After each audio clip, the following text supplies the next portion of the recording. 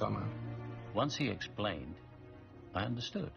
When you get a virus, you get a fever. That's the human body raising its core temperature to kill the virus. Planet Earth works the same way. Global warming is the fever. Mankind is the virus. We're making our planet sick. A cold is our only hope. If we don't reduce our population ourselves, there's only one of two ways this can go. The host kills the virus, or the virus kills the host. Either way, the result is the same. The virus dies. So Valentine's gonna take care of the population problem himself?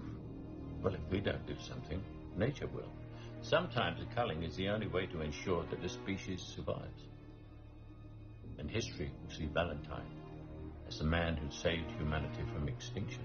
And he gets to pick and choose who gets culled, does he? All his rich mates, they get to live, and anyone he thinks is worth saving, he's keeping them safe, whether they agree with him or not. And you, Eggsy, in Harry's honor, I am inviting you to be part of a new world. It's time to make your decision.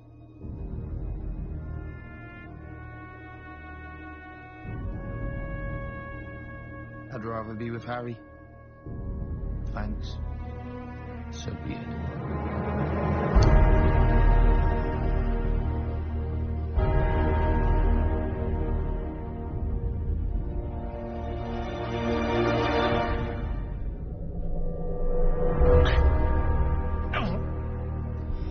The problem with us common types is that we're light-fingered.